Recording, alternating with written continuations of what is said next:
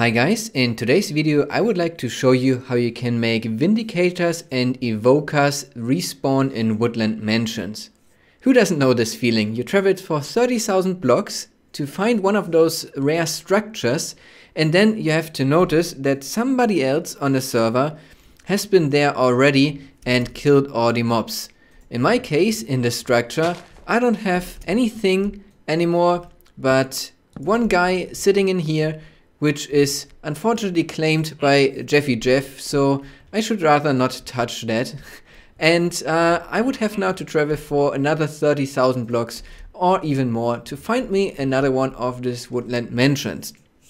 So I thought that this is not quite a nice game mechanic, especially for servers, and it would be much better if those would respawn. So I created a data pack, which I want to show you today, uh, that is making the evoker, evokers and um, the vindicators respawn in woodland mansions. I don't want this to be overpowered. I want to be this to be a balanced and I want this to be a nice experience. So if you go inside, there should be the complete woodland mansion uh, kind of repopulated with those two mobs and not just spawning them like in a witch hut where the witches spawn every now and then. So this is set up in a way where each player that hasn't been in a mansion yet would recreate the mobs inside the mansion and so can get the whole mansion experience just with this one structure. Also, if a player wants to do this again after some time, then he can do it because there's a cooldown timer for each player, after which he would repopulate a mansion as well. So by default, this is set to one hour. So after one hour of gameplay, I could go here again and just redo it, but you can change that time. I will show in the end of the video how this time can be changed. Also, if you go in as a group, then there's no problem because it would just recreate the mansion one time for the group and then uh, you can fight the mobs together. So there is not twice the amount of mobs inside just because you're going in with uh, twice amount the, of the people. So I will now activate the system and uh, then go in and show you what changed inside the mansion. The system is now activated and uh, to show you there's still one inside. I will let him execute say hi. So he should be saying hi now. Yep, there he is. He's still in his minecart. But if I now go to the mansion here, uh, we should be able to see that uh, we have more than just one Vindicator and also the Evokers should be back. So let's see.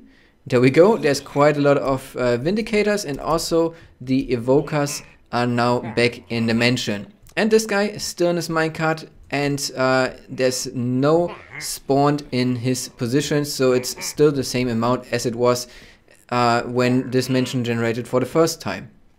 So how does this work? I mentioned already it's a data pack and just like with my uh, respawning mechanism, I'm spawning in armor stands at the position where those guys would naturally spawn. So here you can see this is the place uh, Jeffy's uh, Vindicator spawned and for example, I think this is the one that spawns the evoker.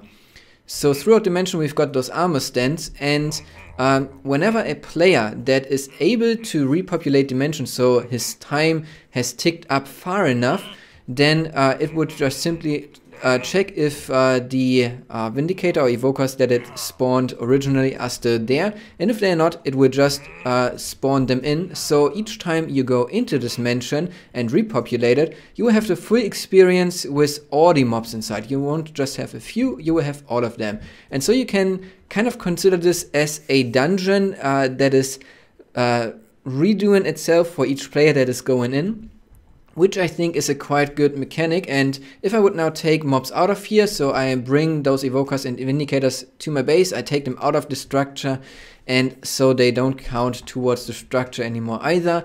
And I can just uh, yeah, go here and uh, do it again after the set time. So uh, now let me quickly show you how you can set this up uh, for your own server. You just have to go to the save of the world, which is most likely your server, and then place inside the save games, you can see it took quite a few attempts to record this, uh, into the data packs, uh, the file that you can find in the video description. once you place that in there, you just have to go to the game and do slash reload, like with all the data packs. And then it tells you that the mansion repopulator is initialized and uh, you can basically explore the world, find a mansion, and uh, from then on, every mansion you find, it will repopulate with mobs. If there's already a mansion in your world and you're adding this, then it can't spawn in the armor stands because there are no mobs, so evokers and vindicators anymore. And so with this mansion, it won't work. But with any new mansion, after you initialize this, uh, it will work. I mentioned that uh, you can change the cooldown time for the player to loot these fortresses. So you could set it to, let's say, a week or maybe even to uh, a year if you want to have this infinite. Um, so each player can only loot uh, the mansion once. Um, but I think it's quite a good way to set it to an hour, two or three. Um, so by default, it's set to an hour. If you want to change that time, you just simply have to run one command, which is scoreboard players set and then four times the zero and timer, that's the placeholder or the variable for the time, uh, repopulate mansion and then a negative value in ticks. So for one hour, this would be uh, 72,000 ticks is one hour. But if we just want 30 minutes, for example, we could just say uh, 36,000. So the way you calculate it is 20 times uh, 20 ticks per second and uh, then just uh, times 60 to have minutes and then times 30 to get 36,000 and we need to have this negative uh, so it works. Um, and with that, uh, you can set it up for your server so you repopulate the mansions um, every so often and can loot them more than just one time and with different people. So I hope that you enjoyed this video. If you did, then of course feel free to leave a like, subscribe to the channel if you haven't already and share this video with your friends and I hope then to see you in the next video. Until then, have a great day.